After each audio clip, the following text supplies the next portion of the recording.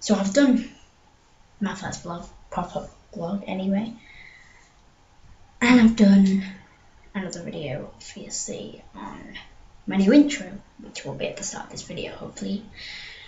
Yeah, I was going to do a video yesterday, but I couldn't find the recording software, Windows wasn't working, and yeah, so. But today, I thought I would do something little bit different and talk about weird things that happened when I was a kid. So I know I'm still a kid now, but I'm worried about like when I was like uh, maybe five, six. Don't know why that's that's not that's not. I need to go back to school. But anyway, let's go. So number one, one weird thing that happened. I used to have a milk bottle up until I was about six. Don't don't start. I know you're all going to be laughing now. Yes, I did have a milk bottle until I was six. I really like milk. And I knew if I had it in a glass, I would probably spill it all over me. Like I spilt milk all over this MacBook of my mum's friend. But we're not going to talk about that today. Please don't hurt me. Okay, anyway, so I had a milk bottle, right? This was really, really weird. Okay, I put it by the side of my bed. I turn over, I close my eyes for literally about a second. I don't even know if sometimes I didn't even close my eyes. I turn back, the milk bottle's gone. What? Sorry, my hair's a bit of a mess. I've just been to the toilet. But yeah, I'm like, why is it gone? What's happened? Why is it gone? And then I realised, like, oh, I probably just fell asleep. How can I fall asleep? I literally don't even remember it. It's really, it's really strange. Okay, um, but today Sorry I starting my hair, the angle's really weird and the recording thing, so it's really weird. Anyway, so that was number one of the weird things. I also have a memory of uh, we were learning about Medusa in year one, okay, and I got really scared about it.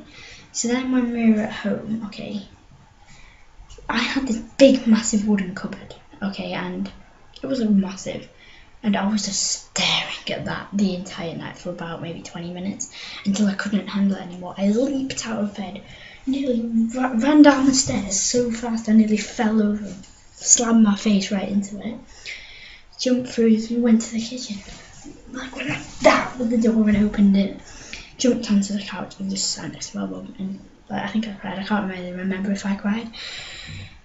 And she told me it wasn't real, so I felt a little bit. But then we had to go to school and tell them that we couldn't learn about it.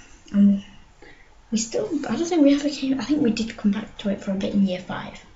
Because we watched Percy Jackson in year five, and that was really good. Yeah, that was the things that happened. I can't think of really any others apart from maybe that I always just randomly started hiccuping. Like, I wouldn't have eaten anything, but sometimes I just wake up in the morning and start hiccuping for no reason. And like, I know it wasn't my milk when I went to bed because I drank that so slowly because I adored milk and I still do now. So like, yeah. Anyways, that that was that was kind of strange as well. Um, yeah. Now a bit of updates. Oops, I accidentally closed a drawer that was the tiniest bit open. That really scared me there. Also, this is kind of creepy because we have that weird that girl thing there. That's, that's a bit weird. Oh yeah, I've had this since I was about four. So much that the paint started to wear off it. It's this like seal thing that says dogs on it. It's quite cool thought that would land on the bed, but it didn't. Um, yeah, this is my holiday home. We'll be back in a couple of days, so we'll be I'll be able to start making other videos and more videos more frequently. Unfortunately, I forgot summer school. Anyway, updates. My friends started doing Imperial Harp. They started doing reactions. So yeah, that's quite cool as well. So you can go watch his reactions as well. But um, so yeah, I hope you enjoyed this video.